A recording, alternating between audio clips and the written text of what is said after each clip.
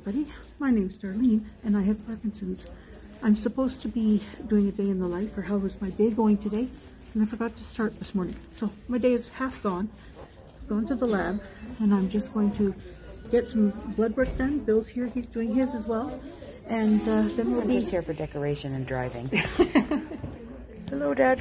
Give a wave. So this is the official start of the, of the video, and I will tell you what I'm doing when I get home. All right. Hi there, everybody. Just thought I'd let you all know that at the end of this video, I'm going to insert a picture of my brother. So for anybody who hasn't seen him before, hang on to the end and you'll see a picture of him. I'm going to show a picture just of him, and then I'm going to show a picture that was a few years old, but it's both my brothers and myself when we were all together. So I'm going to put that at the very end. Okay. Hi everybody, I'm home. All right, so we went and had our blood done this morning, and uh, they were very good. They were very good about getting it this time. I, I usually get poked two or three times, and this guy was very good about getting it, and Claudine just held my arm down so that they could do it when I'm wiggly and whatnot. But the wind outside today is unbelievable. It's just so windy. And uh, she said, when she went out to let the dog out, she stepped onto the step and she said nearly blew her away. And then um, Bill, when he was getting into the car, he said the door kept pushing closed on him. So it was very, very windy. Anyway, I'm a little bit out of breath today. That's because I've, for whatever reason, I'm very animated. I'm moving around a lot today. I don't know why that is, but anyway, that's what's happening. And um, let's see, I'm not, I have a bunch of stuff to do, but it's boring stuff for everybody to watch. Um, I'm going to do some paperwork. When I say paperwork, I make jobs for myself to keep my brain active. I will write down plans for things and organizations and I'll draw pictures of pantries and where things should be and stuff like that. And I enjoy doing that. I don't enjoy maybe getting up and doing that, cleaning and the organizing, but if I've got a plan, I can work towards it. So I've got that to do. I've got supper to make. And uh, what else have I got written down here? Uh, oh yes, I want to do a menu plan and a shopping list for this next coming up week. And just get things organized a little bit. And I have a hilarious story today to tell. I'm not sure if I'm going to do it justice. It's a story that it's not my story, it's my brother's story, Gary. And um, I wasn't sure of all the details, so I phoned him last night, and the two of us roared when he was telling me this story.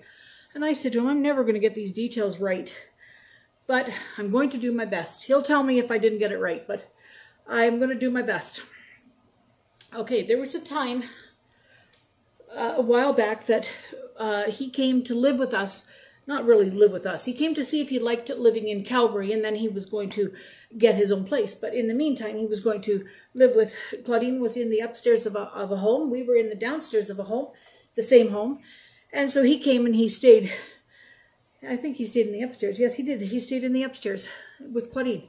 Anyway, he was there. Well, he tried it for a while and didn't really, really like it. He, you know, he missed all his friends. They were all back in Vancouver. Excuse me. So he decided he was going to go back. But he had quite a bit of stuff, and I, I think that's why Ross was coming out to go back and help him take his stuff back. Excuse me, I'm thirsty. So anyway, they had the two vehicles. So they, Gary had his vehicle, Ross had his vehicle. Now, to get from where mom and dad were with Gary out to Calgary, you have to cross the mountains, the Rockies. So anyway, Ross drove out. He has, uh, you know, his old vehicle, but it was not a grand vehicle. It was an older vehicle. But he made it just fine, and they got loaded up. They're halfway home. They're literally halfway home. Halfway between the two, there's a place called the Last Spike, and it's where the last railway spike was put in when the, the Cross Canada Railway was being built. And that was where the last spike went in. So there's a rest area and a nice park and whatnot there. So that's the halfway point. That's just outside Revelstoke. Well, just outside Revelstoke, they were going down the road, and Ross was in front. And all of a sudden, Gary sees Ross's vehicle kind of glump over to the side, and he limped over to the the sandy uh, shoulder, and Gary stopped behind him to see what was going on. Ross said his tire had come off of the car while he was driving on this mountainous road. The tire came off and went straight down the road. It was a downhill and went straight down the road and off the edge. Thankfully, it never hit anybody that they know of. I mean, it probably hit a tree on the way down this over over mountainous overpass bank. Anywho, he didn't have the tire. Now he Gary says, "Well, do you have a spare?" He says, "Oh, I've got a little donut." And Gary said, "Well, I'm going to have to get that on it." So then they got out to put the donut on, and noticed that the tire had fallen off. But not only that, the tire had sheared off the lug nuts. So there was no lug nuts. So they couldn't put this donut on without lug nuts. So Gary said, well, we're going to have to go back into Revelstoke and try and find this.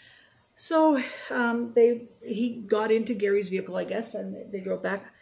I'm not sure, but anyway, I think that Gary, they drove back in Gary's vehicle. I think that's what it was. But anyway, they went back. The stores were closed. So they slept for a while, I guess, in their vehicle. And then they went in when the store was open and uh, got what they had could for these lug nuts. They only had two. You need four. And so they got the two, went back to the car with the two lug nuts, and they said then they realized that they didn't have a tool to take off the brake caliper, and apparently the brake caliper had to come off too. I know nothing about mechanics, so if you know about mechanics, you'll maybe understand it or know where I'm going wrong in my story. But anyway, they they took the the brake. Oh, Ross put his hands up underneath. He was going to try and take this brake caliper off with this tool that was on the jack. And he said it's the right size wrench or something that he needed. And so he was going to go up there. And then he said, oh, it's all bent. I've got to pull it and sort of bend it the other way. And Gary said, You'll never, that's metal. Like, you're never going to be able to pull that. Well, next thing you know, he pulled it, it broke off. So, anyway, now they've got this piece broken off and two lug nuts, but now the wheel will go on. So, they put the little donut on, attached it by two lug nuts, and then they had to try and get home. Then the car kept overheating. They were going on a big hill by Merritt, and the car just kept overheating on him.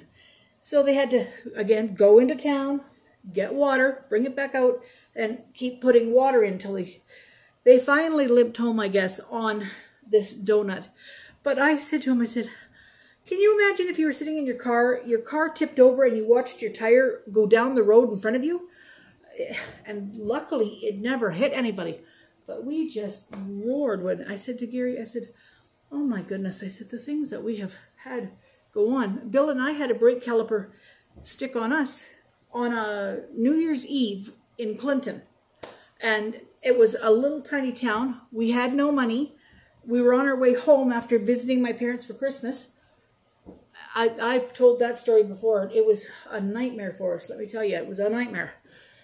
Anywho, um, now that's my story for today. Um, how does my day go? My day's going fine. Like, I, I don't have a problem with my day. But I didn't get accomplishing much, but I did. I needed to have the lab work done, and I um, and Bill needed to have the lab work done because he has a doctor's appointment coming up. Oh, I have I have big news. I have big news. Claudine saw the surgeon. The surgeon said most definitely you need this surgery. You you absolutely have to have this surgery, and it won't be that long. He said. He said that he thinks within a month he'll have have her in for the surgery. Now, she won't be able to get the the whole surgery with the you know cutting off like the tummy tuck part of it you know put cutting that off. So she said she's a little bummed about the fact that she'll have you know lots of scars and stuff on her belly but he isn't going to just do the hernia. Excuse me just a moment. Sorry i choked a little bit there. He's not going to just do the hernia. He's going to put the mesh in and do the actual repair. And that's now she said she's going to have a hard recovery. He has said to her it's eight weeks recovery. Um, and so she says, that's all summer. I won't be able to be out doing a lot of walking of the dog. And, you know, all my summer is sort of gone. And I said, you'll look forward to the fall, honey. I said, just, you know, you'll look forward to the fall. But we are so thankful that he is going to do this surgery. And she said he's a very nice man. It's at the hospital she wants. And she's much happier with that. And I cannot believe how long she has waited to have this surgery. So I was so relieved when he said, Yes, I will be glad when it's done because I, the poor girl, she honestly, she, she looks like she's pregnant. She has a, a great big belly. Her, what did she say? Nine, nine or ten inches. That it's it's grown nine or ten inches. Her her measurement around in in the last month. Like it's terrible. Like and she has to wear like a, a belt to support the weight because her back and shoulders she it pulls her forward it's it's like she's pregnant it's like she's ready to deliver a baby you know it's and and if you touch it like her skin is starting to pull apart it's you know like down the incision scar um it's it's really sore and if you put your hands there i said it's you can feel the heat radiating and you you know it's it's just scary so i'm glad she's going to get that done so i guess that's pretty much an update on everything that's happening and um, so, on that note, I am going to. What am I going to do today? Oh, see, I'm, I'm bit. I'm in a bit of a brain fog today too. I don't know why that is. Anyway, I'm on the wiggle, and I'm in a bit of a brain fog. So I'm going to say cheerio for now. Hey, I should say that every day. Cheerio for now. I used to sign all my letters when I was writing my cousins in Ireland. I would write cheerio for now at the bottom. Maybe I'll try that out. What do you think? Should I say cheerio every day? Nah. I'll, I'll just say see you tomorrow. okay, bye.